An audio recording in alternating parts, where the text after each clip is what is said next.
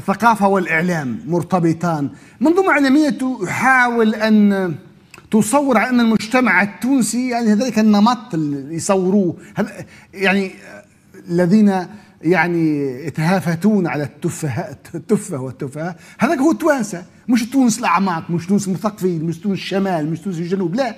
ثم كله يحاولوا يصوروك هذيك هي تونس بتاعهم هذيك هي تونس.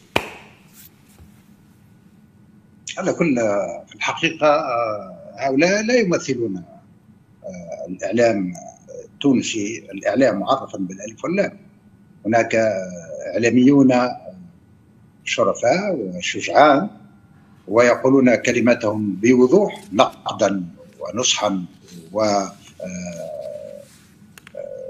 انتقادا بوضوح. وهناك الذين يشتغلون ضمن مختبر كامل.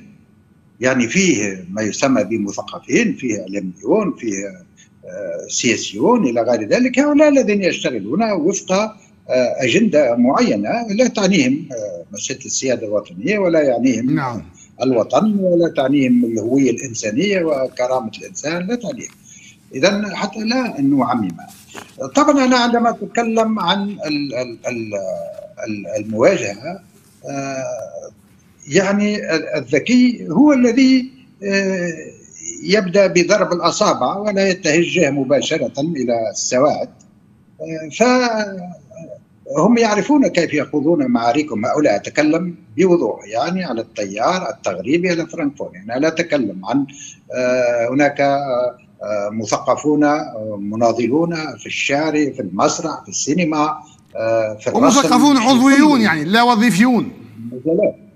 هناك مثقفون آه، ملتزمون بقضايا وطنهم بقضايا الإنسان بقضايا نعم. الإنسانية بقضايا الحرب إلى غير ذلك آه، هناك وهذا المؤسف يعني هذا الذي يسيء للديمقراطية آه، الذي يسيء للحرية ويسيء للوطن هو عندما يكون هؤلاء هم الأكثر فاعلية لماذا؟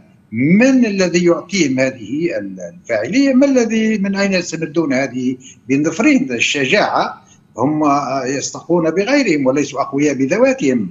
آه، دائما يظل السياسي والثقافي في علاقة جدلية بالتأكيد وأنا نعم. أعيد مرة أخرى من يتكلم عن السيادة الوطنية سواء كان سابقا أو لاحقا أو الآن من يتكلم عن السيادة الوطنية من يتكلم عن الإنسان من يقول على التونسي أن يرفع رأسه في أي مكان أن ينظر إلى المشهد الثقافي بشجاعة وأن ينظر إلى الثقافة باعتبارها قلعة من من قلاع التحرر من قلاع مواجهة نعم. الأعداء بكل المعاني وأن ينظر إلى هؤلاء الذين يشتغلون على التفاهة وعلى السخافة وعلى آه، إهانة صورة الإنسان على أنهم آه، أعداء بوضوح. نعم يعني يجب أن ننظر الثقافة على كونها قلعة من قلاع المقاومة. شكرا جزيلا أستاذ بحي عرفاوي أستاذ أحمد السويعي مشكورين ونعتذر لأنه ضروري نخرج ونرفع أذان أذان صلاة العشاء حسب التوقيت المحلي لمدينة تونس ومجاورها. نذكر فقط هذا غدوة سيكون معنا في الجزء الأول من حسد 24 الدكتور عبد اللطيف المكي اللي قدم نفسه مرشح للرئاسية ولكن آه تم بحث آه تحقيقي فيه هو وجملة من متقدمين للرئاسيات المفترضة في 24 بأكثر تفصيل غدوة ان شاء الله مع الدكتور المكي بداية من الساعة 8:30 مساء. في أمان الله.